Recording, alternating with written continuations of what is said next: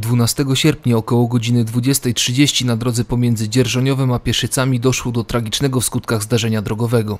Jak wynika ze wstępnych ustaleń, 23-letni kierujący samochodem marki BMW podczas wyprzedzania doprowadził do czołowego zderzenia z motocyklistami. 38-letnim mężczyzną jadącym Yamahą i 39-latkiem podróżującym Suzuki. Niestety młodszy z nich poniósł śmierć na miejscu. Drugi motocyklista z podejrzeniem uszkodzenia kręgosłupa został zabrany przez lotnicze pogotowie ratunkowe. Kierujący samochodem był trzeźwy. Śledztwo w tej sprawie prowadzić będzie prokuratura rejonowa w Dzierżoniowie.